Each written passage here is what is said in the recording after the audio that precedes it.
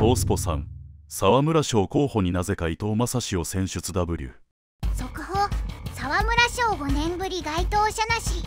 割と思い切ったなまあしゃあないっちゃしゃあない。うんと棒でよくね。そう思うけど8 3つも足りないのは印象悪いのかね。打倒や無理やり上げるのはあかん。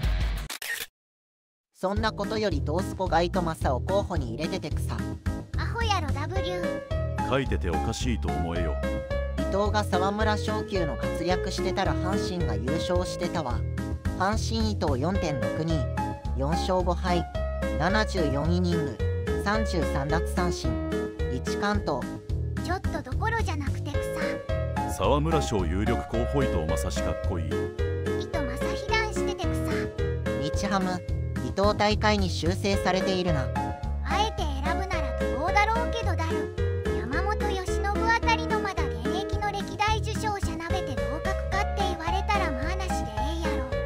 週5登板余裕10完投ほぼありえん15勝チーム次第勝率6割。